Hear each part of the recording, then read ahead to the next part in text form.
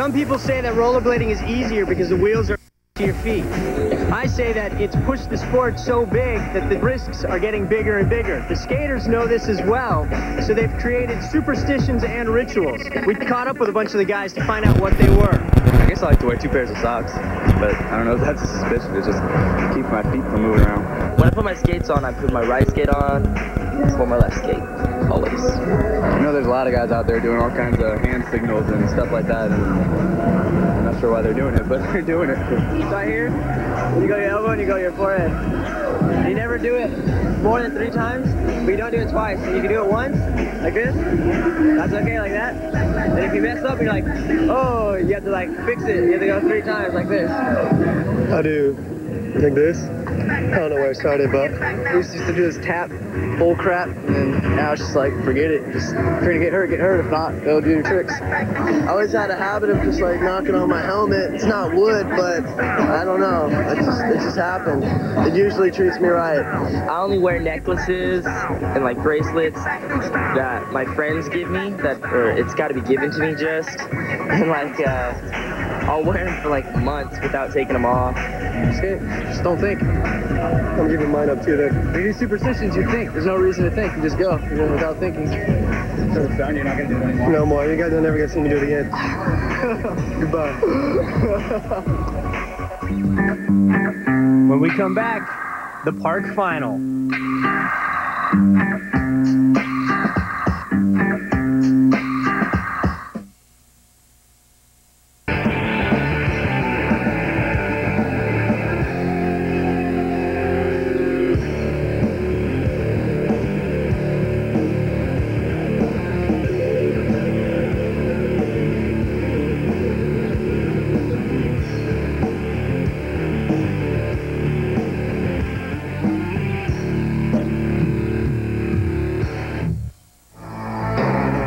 Very mixed group. Louie Zamora, Cameron Carr, Dominic Sagona, some real street wizards, and competition guys like Mike Budnik, Sven Boekhorst, and Jaren Grob make up our final list.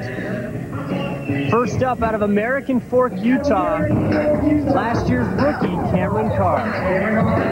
Starting out the sunny day, also known as a topside forward porn star, spinning into the topside soul to back, backside backslide. So good combination across that coping box. Now setting up going into the mini ramp with a backslide, stepping through to alley topside acid soul. So a brand new trick from Cameron Carr, right into the alley topside soul, showing off a lot of technicality in this run. Another step through trick, a lot of difficult grind variations. Cameron Carr has not missed a beat. Out here. Well, this is something that we don't see too often in a street contest. This is not the most exciting run that you've ever seen, but he's packing so much difficulty into this run. And the reason guys shy away from runs like this is they're usually real low percentage tricks. Not tricks that you expect to land every time, but the fact that Cameron is throwing so much difficulty in this run and landing all these tricks probably means he's going to get a pretty high score. And he's not missed a beat until right here at the buzzer. Going nose pick 540. Very good first run. One of the most technical runs probably ever seen on a park course. Didn't go down at all in the most difficult tricks. Have you got anything saved up for the final round? I mean, you've nailed your first one. You can let loose now, right? uh, I'm not really that kind of skater, but I'll try, you know. I'm going to try to throw something. Come on, bust out something. Think about it. Be creative. This is Inline Park. Take a competitors. 265 second runs, best of two. We well, they get it. Hopefully Randy Marino will get it as well. 19 years old in front of his hometown. Yeah, coming out of Dallas, Texas. Popping off of the rail. 180 over the small wedge pyramid. There he goes. He's headed somewhere with speed, charging across the top of the course. Big air transfer. Right into the disaster royale. So here you can see it.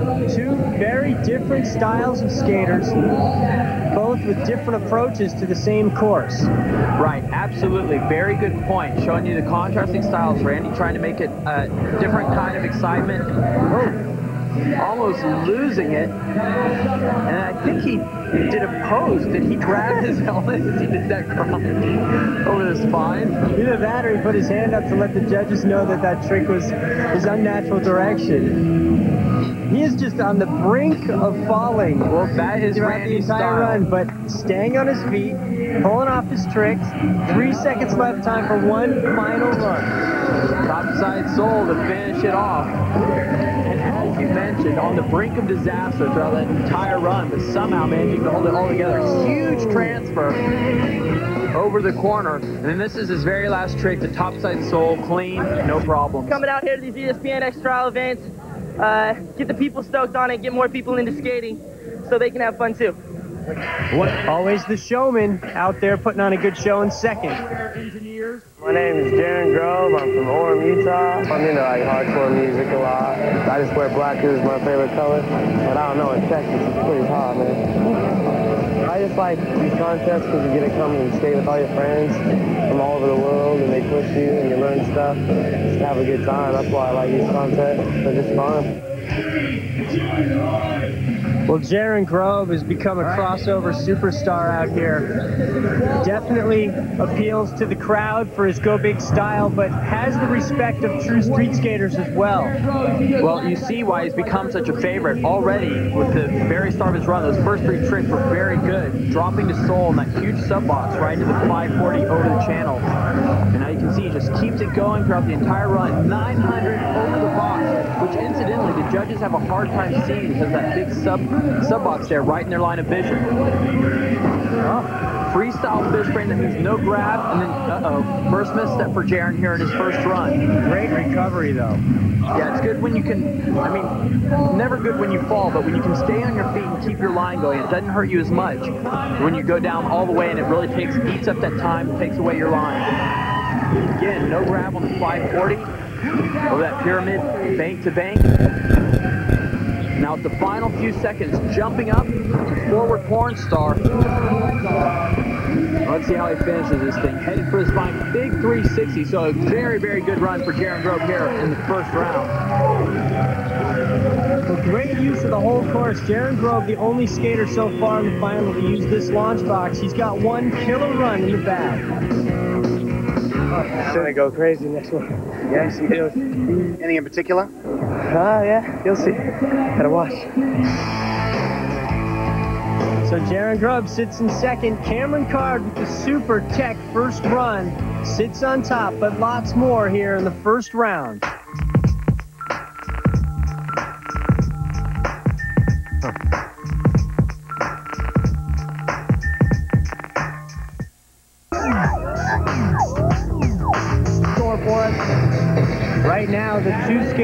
Top two spots are both out of Utah. That could change as we move into the order. A true, true street skater, Dominic Sagona out of Escondido, California, is up.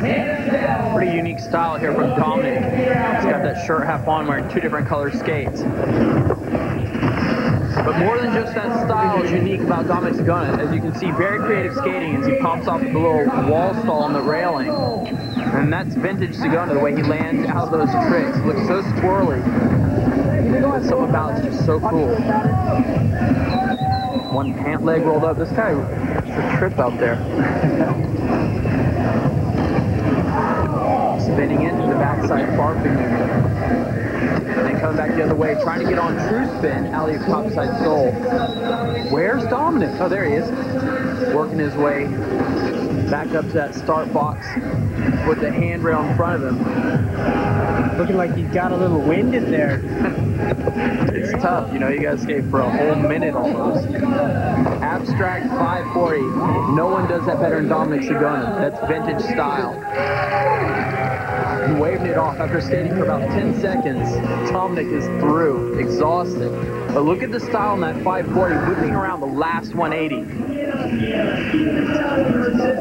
Well, he didn't even work the entire run length, and he still ended out with a very nice first run score. Now, Louie Zamora already has a spot to the X Games. 74.25 here in his first run. Ouch. 360 John Murakami in his second year on the Pro Tour. Becoming a fixture here in the finals. Every contest, seeming to make the top 10. And Pat Lennen, known as one of the most creative street course skaters in the world. Yeah, no doubt about it. And he's always good for, well, there's one of your creative lines. He's also always good for a stunt. You can always count on Pat to find something creative and very dangerous at every contest. So we'll be excited to wait and see what that is. There's the big Misty flip. Just giving us a taste of the excitement that we can expect from Pat Lennen.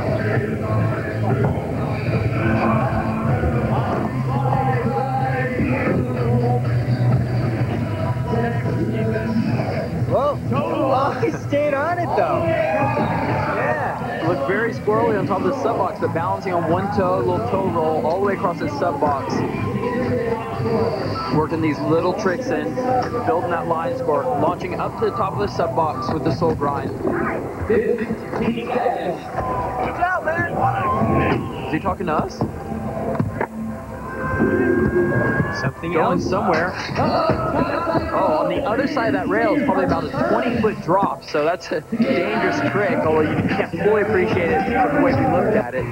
Upside down with the Misty flip. And then there you can see a better view of it. I just want to stay on my feet and, uh, you know, just land my first run and hopefully, uh, I landed pretty much most of my first run, so now I can just step it up in the second run and take a few risky.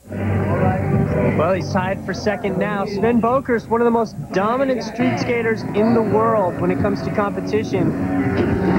Yeah, but last season, he took some time off to focus on his studies, and it was reflected in his ranking. He dropped a bit, wasn't able to commit to the contest season like he had in the past. But now you see him coming out with a new season, new commitment, and already picking up where he left off a couple years ago, trying to regain that championship form. Well, if there's been any criticism of Sven, it's that he doesn't have enough of a flashy style and doesn't push the envelope when it comes to technicality, but he's always so consistent. Well, and his tricks, his grinds are pretty technical. It's easy to discount them because he does them so consistently. People don't appreciate sometimes how hard they really are. Transferring over the channel his soul grinds. Right into the backslide. All these tricks are pretty good. Fakey 360 into the alley of soul. And the fact that he's landing them all, he packs them in back to back to back, he just keeps going. Really is a testament to how good of a skater he is, and it's why he's won so many contests. Big 540 over the handrail, and then look at this channel gap right into his soul, walking on clean. Really good run. Well, an 88.25 puts him in fourth place at the end of run number one. Pat Lennen, Jaren Grob both said they're going to let loose in the second. They need to because they're tied for second place.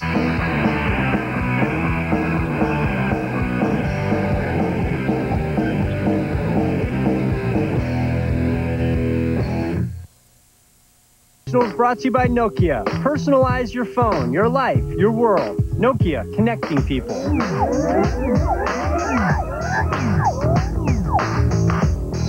So Cameron Card holding strong after one round with a very technical first run. But in the second round, all the scores can change. Jaren Grob was happy with his first run, but said that he was going to let loose and do something big in his second round. Watch this start, dropping to soul, fast, creative start, and in the 540 over the channel. Backside torque slide across that square rail. So a very good start to this run for Jaren Grob. It looked like a bend on that small ledge box. Going for a 270 fish brain up on top of the sub box. And now he's going backboard, so this is tough. He had a very good start to the run, had everything working, was bringing out a big trick.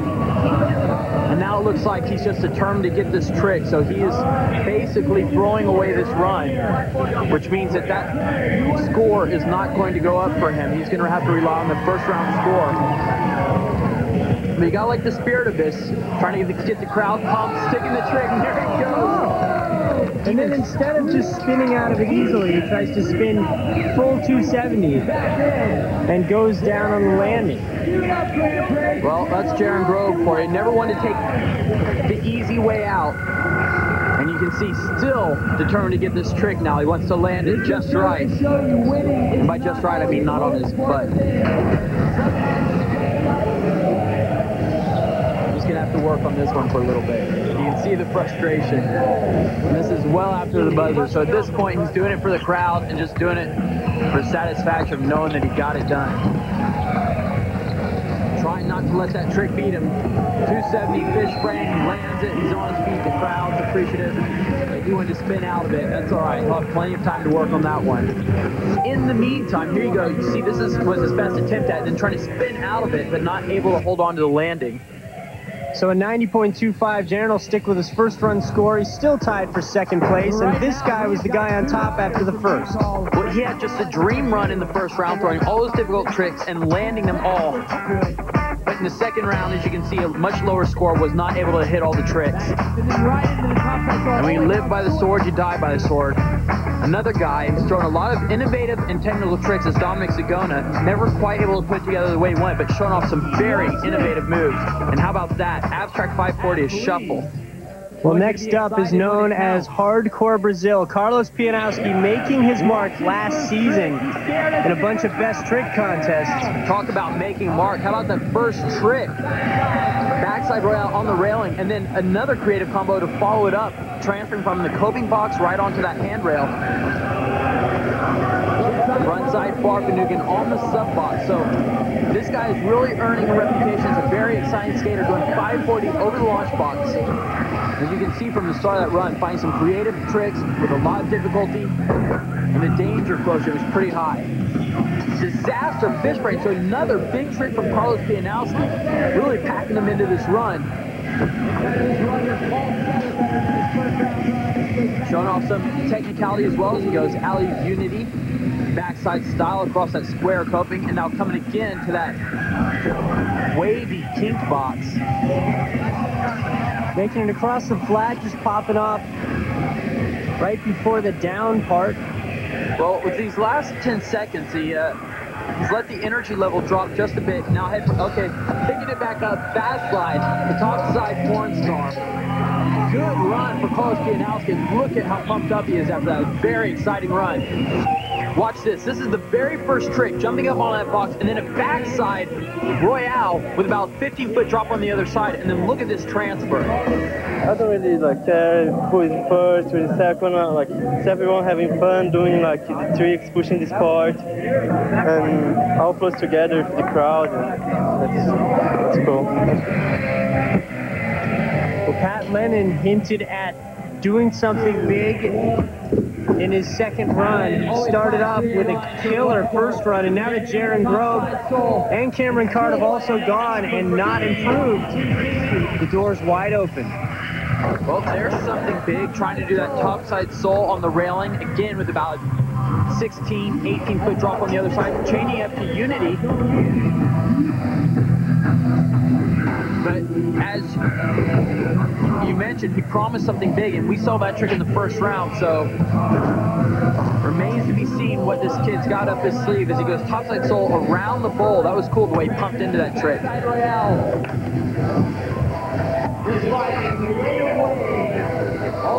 Toe roll coming back the other way in the first round.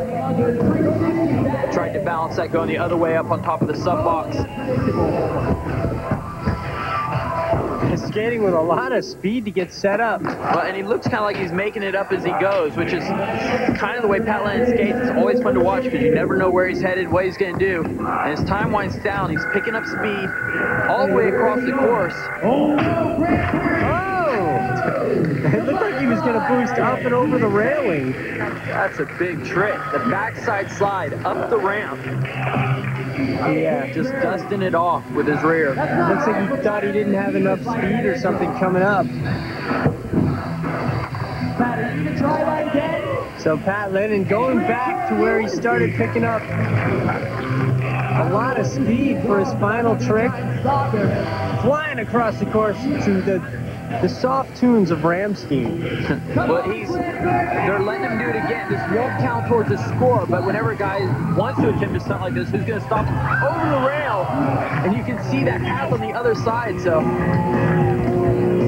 some excitement for the crowd.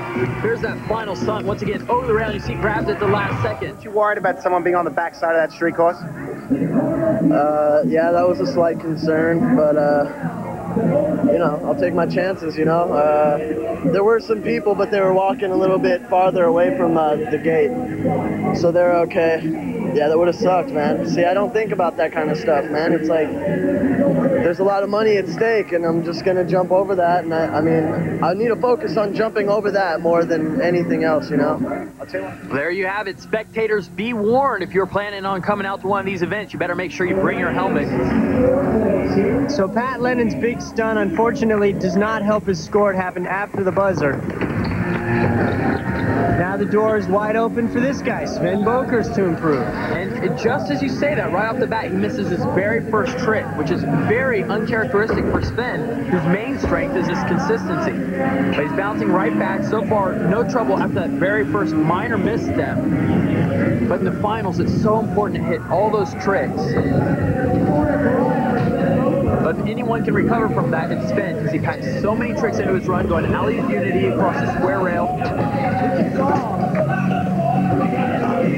In fact, you get the sense that he wears all white, kind of sort of drive home that fact that he is so consistent. It's like, you know, I can wear all white because I'm not going to fall. Of course, the back of those pants tell a different story, but disaster. Transfer over the channel to Soul Grind. Backslide, so he has come back from that first misstep. Packed a lot of tricks into this run. Fakey 360, alley soul. Well, the run is very similar to his first run, but I dare say he didn't actually pull as many tricks as cleanly as he did in the first round of competition. And this one now is after the buzzer as he goes time grind. And so that is time for Sven Boekhorst. Yep, an 88.25 in his first run. He'll keep his first run score. 360 transferring into the mini ramp, so he brought some big tricks as well. He's not just a technical skater, but he does have the technicality as he goes alley-oop unity. Well, Jaren Grob and Pat Lennen tried as they may, could not unseat Cameron Card, who gets a spot to the X. So what do you think it was that put you in first place today instead of 15th? Hitting every obstacle, probably like everything I that I passed, I hit. X Games, how do you feel about that? You're in your first Summer X Games. Very. Uh, that's. I'm excited about that the most. It's gonna be so fun. Philadelphia. Well, congratulations to Cameron Card, Pat Lennen, and Jaren Grob. Jaren's still the number one ranked street park skater in the world. Lots of thrills and lots of spills from all the skaters here in the park.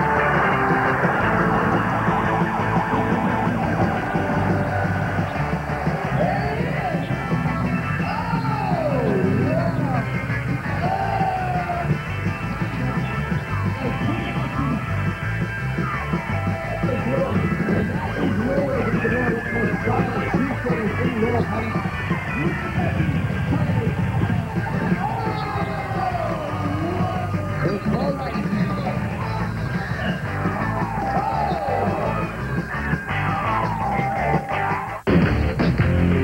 that does it from us here in Texas, but we'll see you again at the next EXPN Invitational from Georgia.